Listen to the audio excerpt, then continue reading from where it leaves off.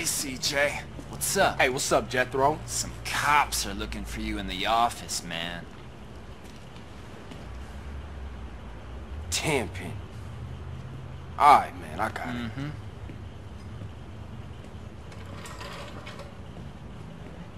Nice to see y'all kicking back. Oh.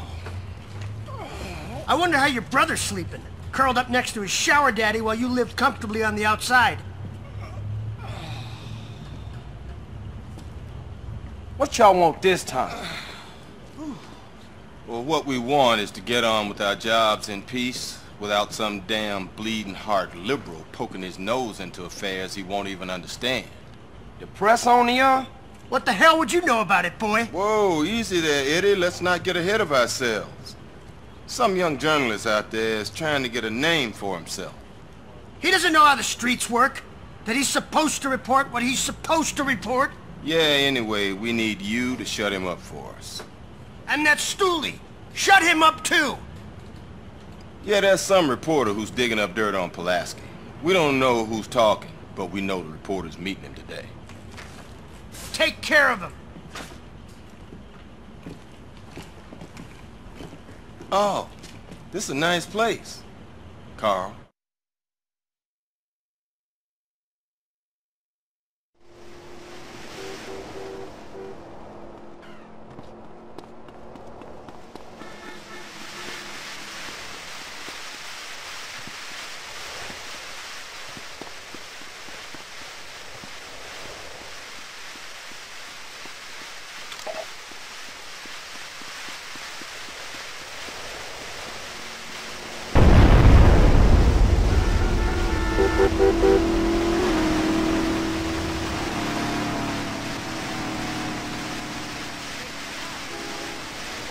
This to get ugly?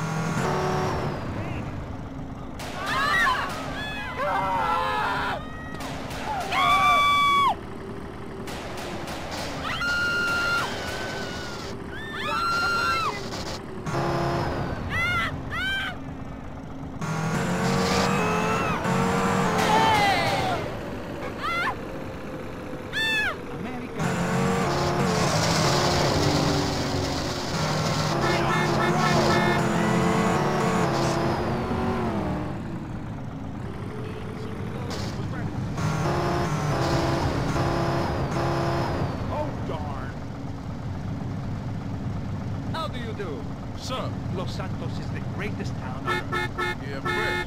Have you ever been to my Hong Kong, please? Goodbye, my friend.